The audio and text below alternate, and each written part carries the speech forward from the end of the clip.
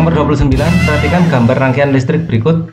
Besar tegangan pada hambatan 3 ohm. Hambat, uh, tegangan di sini adalah Nah, ini kita menggunakan analisa loop. Ini loop pertama ya I1, ini loop kedua yaitu I2. Nah, arah loopnya terserah ya, asal kita konsisten aja. Saya selalu searah dengan jarum jam. Ya, kalian dibalik enggak apa-apa. Yang penting dalam analisanya nanti konsisten. Ya, dan ini eh, diasumsikan I1 adalah ke sana. I1 ke sana, saya asumsikan I2 ke sana. Ya, dan I3 ke sana. Ya, ini asumsi-asumsi dibolak-balik boleh asal konsisten. Ya, kita lihat eh, di sini I1 ini pecah menjadi I2 dan I3. Ya, sebenarnya kalau kita lihat voltasenya di sini harusnya I ke sana kan. Nah, tapi diasumsikan ke sana sama, sama saja. Nanti kalau hasilnya minus, oh berarti arahnya berkebalikan dengan asumsi kita, gitu aja.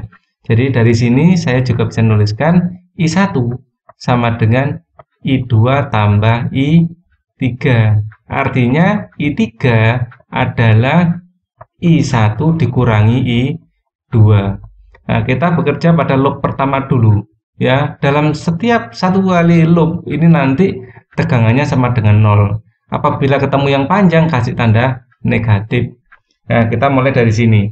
Ini kita mulai dari sini kita ketemu yang panjang berarti negatif jadi minus 6 ya ini nanti kita muter kalau hambatan itu selalu positif ini kan I3 jadi tambah ya kita sini ya. I3 bernilai positif karena apa? Searah dengan I kita ini. Ya searah dengan loop kita. Ini positif.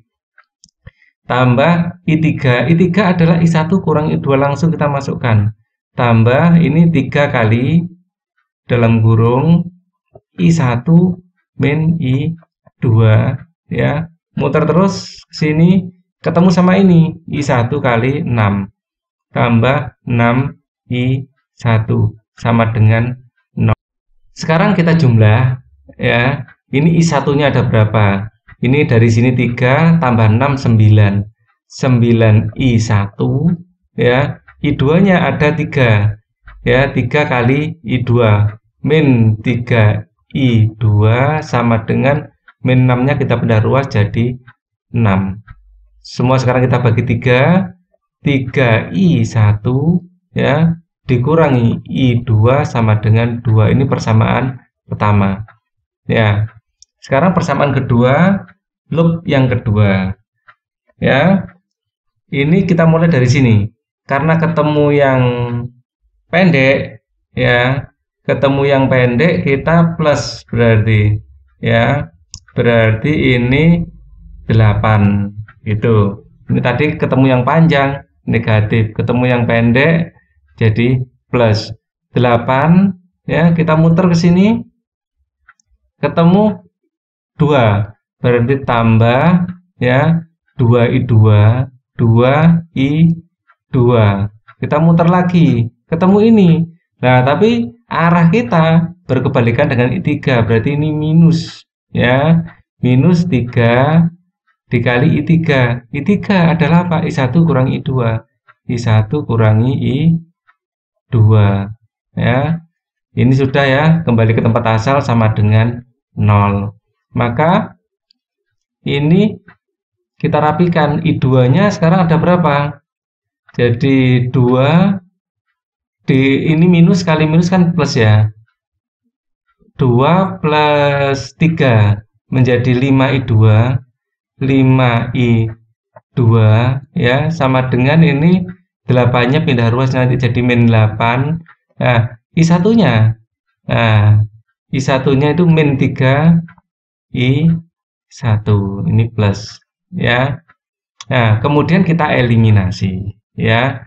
Ini dengan ini maka kita dapat 3i1 min i2 sama dengan 2 dan ini kita tulis min 3i1 ya tambah 5i2 sama dengan min 8 ini dibagi ya ini ditambah, I1 nya kita hilangkan.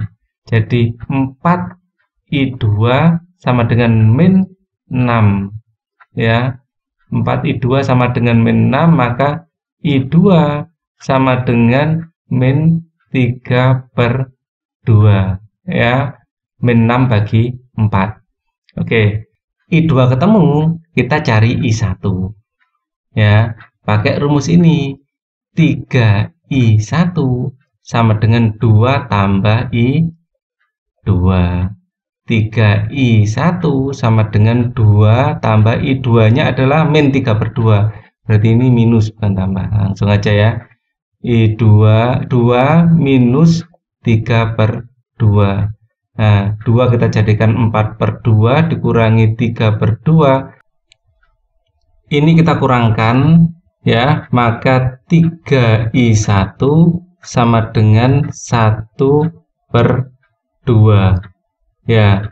Nah, kemudian ini kita kalikan, maka I1 sama dengan ini 3 kali 2 adalah 6. Berarti 1 per 6. I1 sudah dapat, I2 dapat, kita cari I3. Maka I3 sama dengan I1 dikurangi I2. I1-nya berapa? I1-nya adalah eh, ini tadi 1 per 6. Ya, I2-nya adalah min 3 per 2. Jadi ini plus 3 per 2. Sama-sama jadikan per 6-nya ini 1 per 6 tambah ini jadikan 6 kalikan 3 ini 9 per 6 sama dengan 10 per 6 sama dengan 5 per 3 ampere. Voltase di sini ya voltase di sini V sama dengan I kali R ya hadapnya di sini ya. Voltase V sama dengan I kali R ya. I nya berapa? I nya adalah eh, ini saya rumusnya dulu ya.